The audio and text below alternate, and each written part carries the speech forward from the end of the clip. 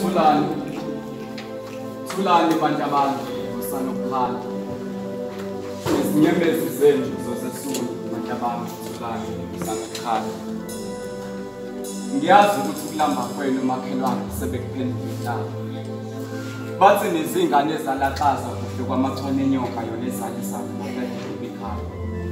Bantu abami ngifisa nazi ukuthi alikho ithuna lendlala. Nize ningazithwesi icala ngokuba semhlabeni ngoba ngizomkhulisa. Noma uyihle wena nilahlile kusinde emadolweni kusinde emagxalabeni ningumboko wami ningekanisoze nangisiza.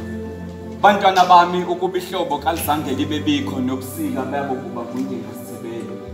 Ngakho ukuphuma imina kamabuye sekunganithikabeza umpondo kuniqeda umdlandla abantu abami. Engifisa nikwamukele ukuthi umhlaba ukaze wavumela muntu ukuthi angahlala ngasonke izandla. Angisho ukuthi nibe ngamanxiwa angamilwambuya kodwa umthombo sentabeni waziwa ngabahambayo abantu abami. Kule ndima kule ndima yempila kwenziwa ngakhubalo kuphela. Isibindi nokubekezela ngoba inkani yomuntu ngiyongena nokuhlala kulo mhlaba. Ayikho inkomo yobuthongo kubamba ezingelami. Maqedile emthwaleni wayo ngoba ngempela. Isikhulithani sidla ukukhuthala kwaso bantwana bami. Ngiyanxusa ukuba maningalindi ngomuso ngefiki. Kodwa sabathanda izikhali zanamuhla niphikelele empini. Yempumelelo yokuphila nize ningadilibali. Umqansi uqophile qophani ngoba ukudembesela. Yikhona okuzonenza nidla amajwabu. Baningi abazibona amaphiko okundisa kepha ezinye sibe singandisi. Abanye ke bafika bembethe isikhumba semvu beniluthe ngamagama nangobucwebe nenkethe abantu abami nize niqaphele. Kule nyathuko elibangise kwampumelelo hlezi kunesinqinamba esingakudonsela obishini nasemgodini ngakho abantu abami ngiyacela. Nize ningalibali imvelaphi yenu nize niqaphele. Ningathokoziswa imvula efika amanguma ngoba mayiphela. Iphela amanguma angiphikiki.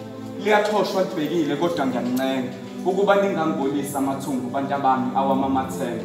Ngawatshala kini nithi nikuthokomala kwenhliziyo yami abantu abami thulani. Musanokukhala izinyembezi zenu. Ngizozesula abantu abami thulani. Sapheliswa ngomthetho wosizi sabethelwa ngomunyu esiphambanweni sethuphela. Izinyembezi zikaNembeza zigeza isibindi igazi uxolo oluvike ngehawu lekhatholika sikhathalele kuthenda. Ngakho kwabanikazi kumele babuyele kubanika